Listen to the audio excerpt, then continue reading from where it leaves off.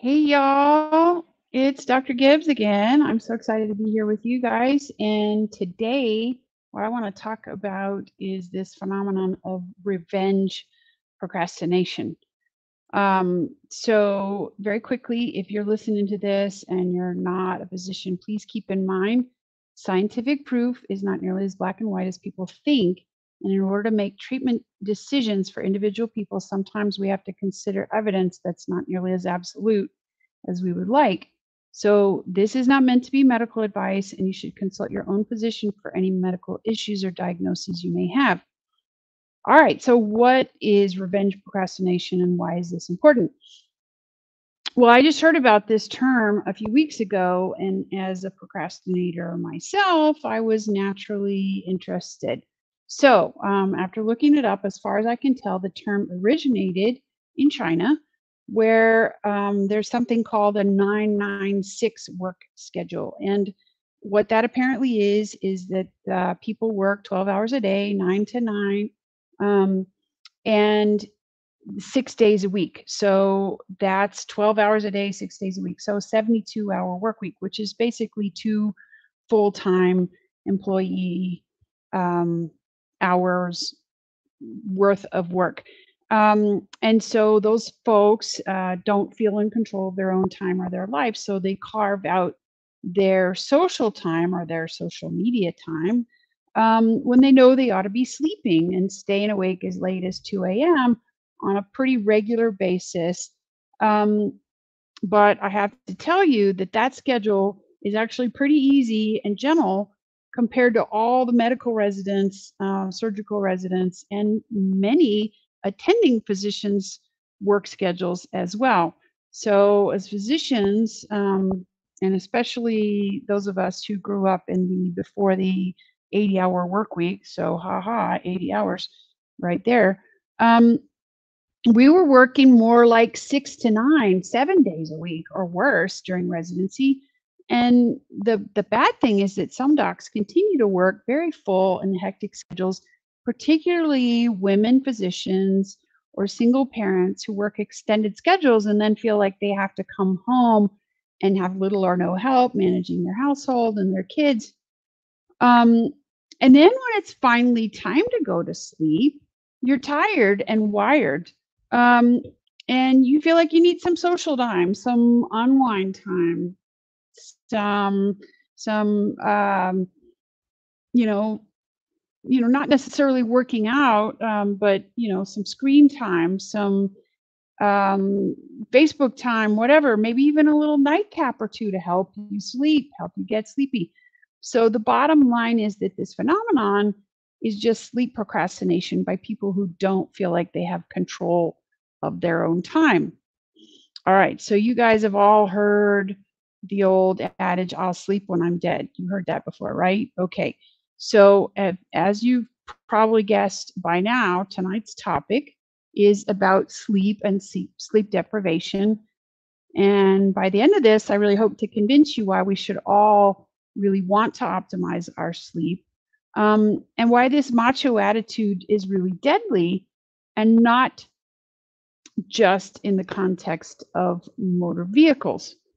Um, but but what is it? What is sleep? So as recently as 25 years ago, researchers didn't really know, and they would glibly answer, "Oh well, it's for getting rid of sleepiness." But really, at, at that point, what sleep really did for us was pretty unknown. Um, and we all looked for ways around it, and even world leaders would brag foolishly, as you'll see, about needing little of it.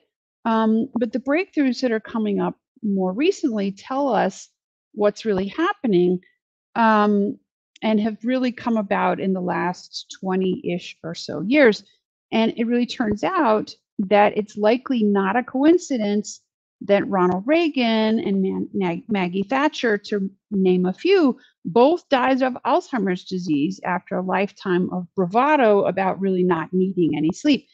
Um, and it's really an epidemic now, right along with obesity. And um, and you'll see a little bit later why one of those things mean uh, means that they're really likely even connected.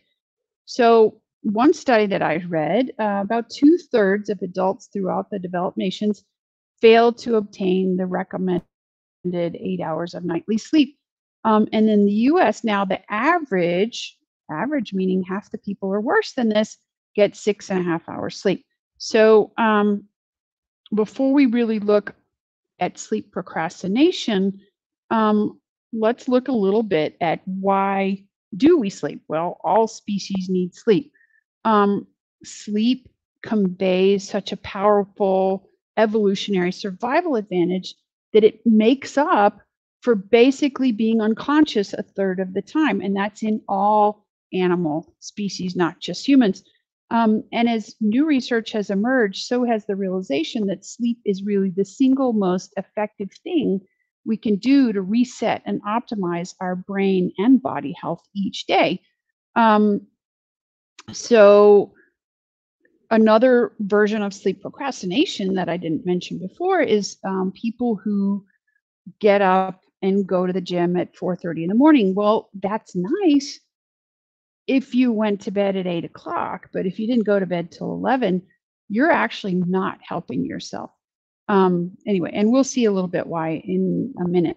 Um, but being awake results in ox- oxidative stress in our brains, um, which produces um, free radicals that cause damage. Um, they can cause neuronal energy deprivation and cell death. Um, and clearing away those toxins out of your brain is just one of the many benefits that researchers have found for what sleep does. Um, but let's look at how sleep procrastination can not only harm your health in the long run, but can really be deadly. Um, so, low performance ability, so quicker onset of physical exhaustion, collapse of concentration and decision making, um, increases in reaction times. So, in controlled studies of sleep deprivation, four hours of sleep for six nights reveal uh, yields as poor performance on concentration tests as somebody who's been awake 24 hours straight. And all of us who are in medicine have been awake at least 24 hours straight at some time. I mean, we used to do shifts that were 24 on, 24 off, that turned out to be more like 27 on and 24 off. And a lot of us have done um, 48 hours straight awake and and we know how ridiculous it makes you feel. Uh, but they've shown now that four hours of sleep for six nights reveals as poor a performance on concentration tests as somebody who's been awake for 24 hours solid. And by 11 days of this four hours a night they were as bad as someone who was awake for 48 hours. And even more worrisome to me is that 10 days of only six hours of sleep per night was also as bad as somebody going 24 hours without sleep. Um, and the performance show uh, scores showed that there was really no sign of leveling out um, as the participants continued at these levels of sleep for longer and longer until the experiments were finally discontinued. So their performance continued to decline. And furthermore, the people were acclimating to that low level of alertness and impaired performance. And that became their accepted norm without them even realizing that they were impaired compared to their normal, um, fully slept baseline, which is wild to me. It's just like, oh my gosh. So people don't even realize how poorly they're performing. But anyway, so, um, one of the quotes that I found was that fatigue degrades a person's ability to stay awake, alert, and attentive to the demands of controlling their vehicle safely. Now, this is about driving. Um, and to make matters worse, the f- fatigue impairs our ability to judge how fatigued we really are. And drowsy driving is a huge, huge problem. So, it now kills more Americans than DWIs involving alcohol, and drugs combined. So the yearly number of fatalities from sleepy driving is now in the hundreds. That's this is fatalities, hundreds of thousands. And there are now 1.2 million auto crashes per year attributable to lack of sleep. Um, and I hesitate to even call these accidents because they're completely preventable. Um, and actually, falling asleep at the wheel really account for only a minority of these incidents. Um, so, falling asleep at the wheel is somebody who's acutely sleep deprived, and and by that uh, I mean awake more than 16 hours. That's now the definition, um, which for doctors was all of us basically. Um, the more insidious problem then is the problem with being that chronically underslept by as little as two hours per night for a week. So averaging less than seven hours per night. Um, and and even I've had this happen where I'm just driving along and my head nods or snaps back while I'm in the car, um, or I just all of a sudden hit a bump and whoop and oh I'm headed for the curb. Here we go. Um, but anyway, so this phenomenon is called microsleep, and this is your eyelids partly closed. You become unaware of your surroundings for a few to several seconds, and you just don't react um, until something jars you out of it. So these cause a particular pattern of accidents no brakes, no skidding, no attempt to correct the steering before impact. And the NTSB analyzes these, and they tend to be more deadly than drunk driving accidents where the intoxicated driver reacts, but just too late because people who are doing microsleep don't react.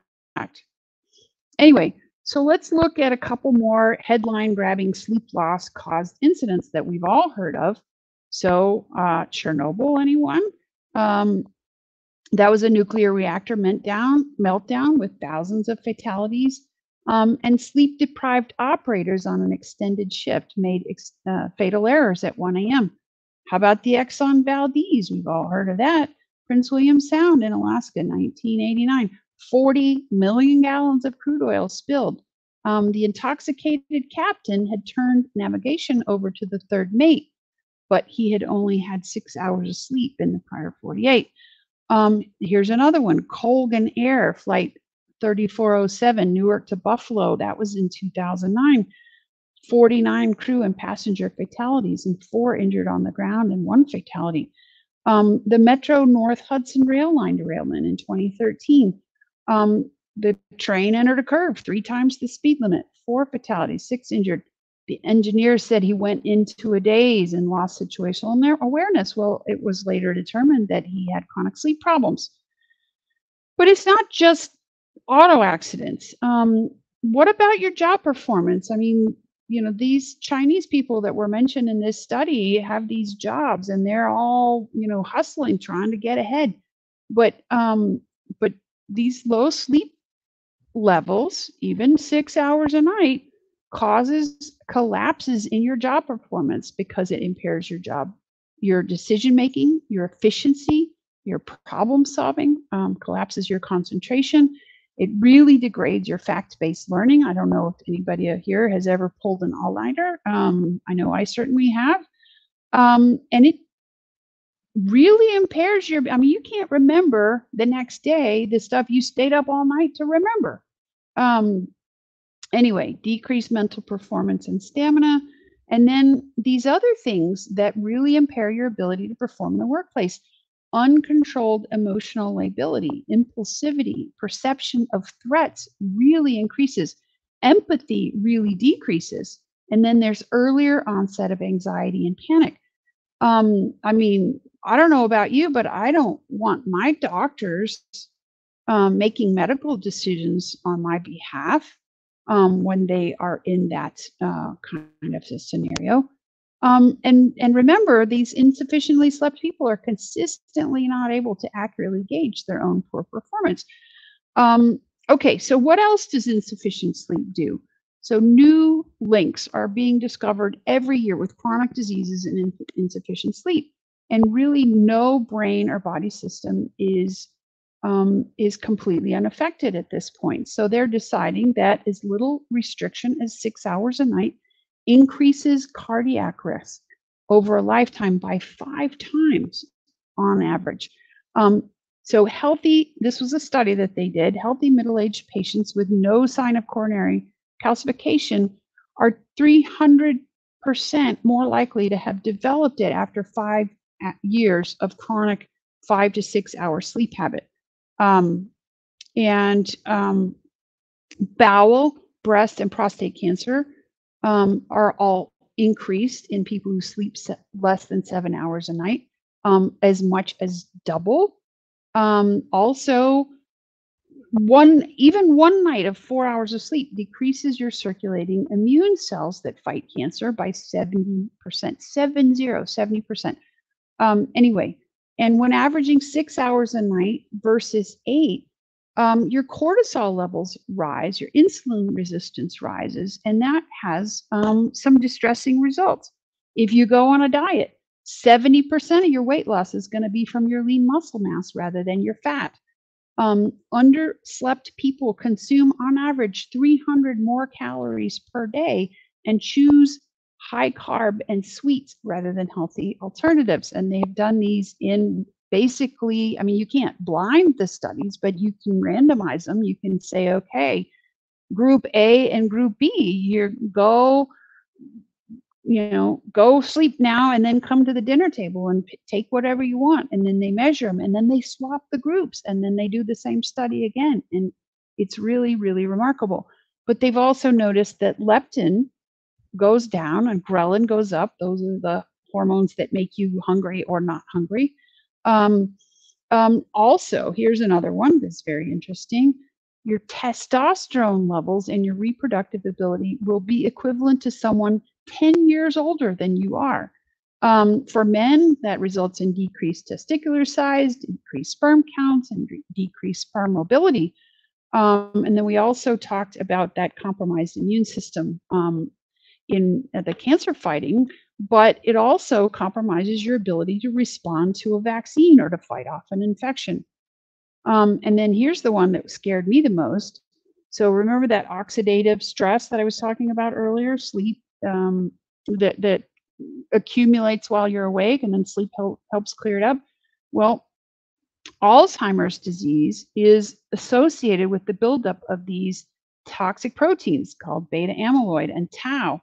Um, and the first affected, the first cells that are affected are the cells of the hippocampus, which are responsible for memory and learning. Um, and also then um, are affected are the frontal cortex cells where deep sleep is generated. So not sleeping comes back to bite you by impairing your ability to sleep. Oh my gosh. So um, it starts way younger than you think. And then about nine years ago, it was discovered that glial cells, which are the neuronal supporting cells, shrink by three times during deep non REM sleep, open channels that allow flushing out of the beta amyloid and the tau. Um, and that only happens in deep non REM sleep, which is what gets cut off when you don't go to bed until 2 a.m. Um, and if you check a PET scan on somebody with a lifetime of sleeping less than seven hours a night on average, they show much higher levels of these toxins than people who sleep more than seven hours on average, regardless of whether the people themselves judge that they have been getting adequate sleep or not. Um, and then human studies really showed circulating tau and beta amyloid um, increases dramatically after one night of no deep sleep. So, sleep deficiency is now known to be the most important lifestyle factor in determining Alzheimer's risk um, ahead of diet and exercise. Ahead of. All right. So, seven plus hours a night of regular sleep during adult life, throughout adult life, reduces Alzheimer's risk by at least a third compared to those who get less. Um, and it's also notable that ApoE4, now this is a gene marker that you can test, it's a blood test um, that confers really high risk for Alzheimer's disease. Um, and it can be measured in your blood, but it does not confer increased risk unless it is accompanied by elevated blood pressure. And guess what else low sleep does? It is um, a symptom of chronic sleep loss. So here's the deal if I told you that I had a drug that would en- enhance your ability to learn new material, improve your retention, enhance your decision making ability, your problem solving, your creativity, your motor skills, your muscle memory development, your reaction times, your athletic performance. If I told you I had a drug that would increase your charisma, attractiveness, and leadership ability, would you buy it? Would you pay money for it? What about if it also boosted your metabolism and reduced your appetite, helped you lose fat and retain muscle while dieting, um, improved your ability to fight off diseases like colds and flu by three times as much, decrease your perception of pain, recharge your immune system, elevate your mood, reduce your anxiety and depression, decrease your cancer risk or help you fight it if you already had it, decrease your heart attack risk by 50%, decrease your Alzheimer's risk by 35 to 60%, decrease your diabetes risk. Would you buy this drug? Would you pay a lot of money for it? I would. What if it had no adverse side effects? What if I told you it was easy to get, legal, even pleasurable? How much would you pay for this drug? And yet, we all do this. We all short ourselves on sleep, and it is really, really not a great thing to do. Um, all right, so I want to go into a couple of other little things. So, some fun facts about your circadian rhythm. So, um, circadian rhythm is the pressure that you feel to fall asleep during any particular point in your 24 hour day and night. And melatonin is the chemical that your brain makes at the time, at the right time to sleep. Um, and the regular use of artificial light, particularly LEDs like phones and iPads, computers, TVs, can reset your circadian clock and delay the onset of melatonin secretion and sleepiness by 90 minutes after your exposure um, to those light sources ends. So, this reset persists for days after the exposure and results in insufficient total sleep and insufficient REM sleep. And melatonin secretion is so sensitive that turning on a strong light in the night can decrease your blood levels in seconds to minutes. So this can, compo- can, can pose difficulty in falling back asleep, even if you were already asleep. Um, all right, well, here's another one. What is adenosine? Adenosine is the chemical that builds up in your brain and creates what the scientists call sleep pressure. So the longer you've been awake, the more adenosine you have in your brain and the sleepier you feel. Um, and sleeping scrubs the adenosine out of your system over time. So insufficient sleep leaves some of yesterday's adenosine to make you feel sleepy in the morning. Um, generally need eight to nine hours of sleep to get rid of all the adenosine. Um, typically, 14 hours awake causes a sufficient buildup of adenosine to result in healthy sleepiness. And then, after 16 hours of being awake, that sleep pressure can start building up to these dangerous performance impairing levels. Um, so, the balance of the two factors, the adenosine the melatonin, and the circadian rhythm really dictates how sleepy or how alert you're going to be at any given time of day and when you're going to feel tired and how well you sleep. Um, so if you sleep at 2 a.m. and then you say, "Oh, I don't have to get up until 8 or 9," but it gets light at 5:30, you are not going to get the amount of quality sleep, even though you got a sort of okay-ish amount of sleep. Let me see, two, three, four, five, six, seven, eight. So that's six hours. But um, you know, we just talked about how six hours isn't all that red hot. Um, but if half of those are against your circadian rhythm, then you're not getting the deep sleep. You're not getting the REM. You're not getting the deep sleep. So anyway, there is no sleep bank. So you don't, you can't store it up. You can't catch up on the weekends. It really it may feel like you can, but you really, really just don't overcome that damage. Anyway, okay, well, what about caffeine? I can stay awake if I take caffeine. Well, I can't, but um, anyway, caffeine is an addictive stimulant that blocks brain receptors for adenosine. That's how it works. But it does not prohibit it from building up. It blocks it, but it doesn't take it away. And the half life of caffeine is about seven hours. And a typical cup of coffee has what, 300 milligrams of caffeine? Um, and even decaf has some. So while it can temporarily improve alertness, chronic use of caffeine results in even more chronic sleep insufficiency. And so if you're staying up late and then you're drinking coffee to stay awake, it is just perpetuating this problem.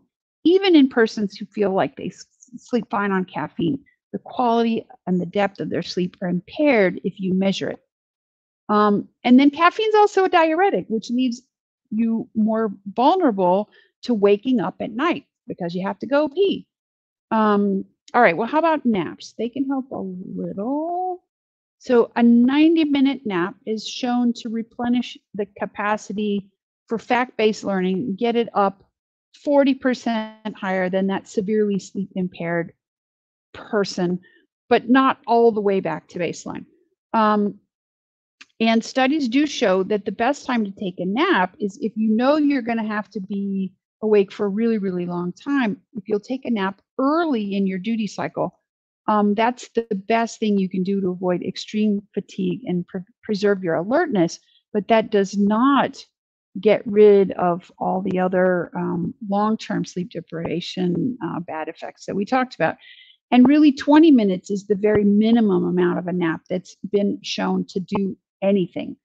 Um, but neither naps nor caffeine can salvage those higher level brain functions, including the learning, the memory, the emotional stability, um, the complex reasoning, and the d- decision making.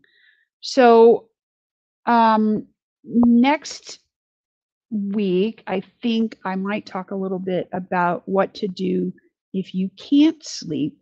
Um, but truthfully, I've been going on for half an hour already. So I think I'm going to call it a night. Um, and we can talk again about um, what to do if you really feel like you can't sleep or um, if um, you've been having trouble getting enough sleep, um, what you can do about that. So that's it for now. I'm Dana Gibbs, MD. I'm an integrative physician in North Texas, and I help people address their thyroid and other hormone imbalances.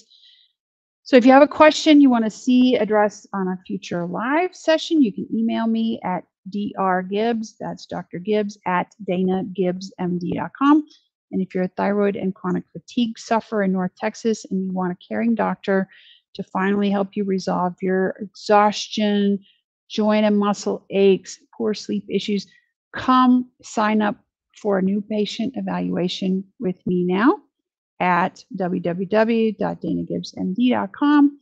And I'll talk to you guys again next week. Okay, take care. Bye bye.